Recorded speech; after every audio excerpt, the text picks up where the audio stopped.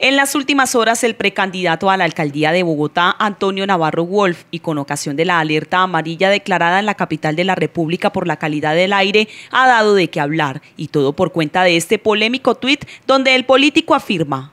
El diésel producido en la refinería Barranca Bermeja es de peor calidad que el de la refinería de Cartagena. Bogotá debería permitir solo diésel de Cartagena. Medellín lo hace así escrito al que se sumaron diversas reacciones, entre ellas la de la Unión Sindical Obrera Uso a través del presidente de la subdirectiva Barranca Bermeja, Daniel Sosa, quien le respondió así.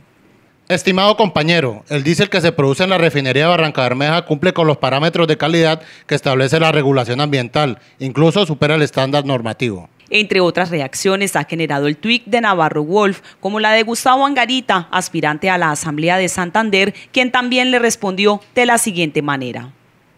Qué comentario tan desafortunado, sin hacer análisis técnicos como todos pecan por no investigar.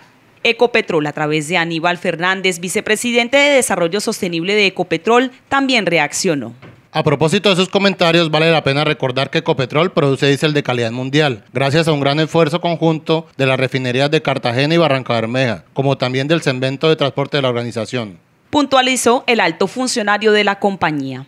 Lo cierto es que la polémica queda abierta e incrementa los cuestionamientos desde diferentes posiciones sobre la importancia de modernizar o no la refinería de Barranca Bermeja.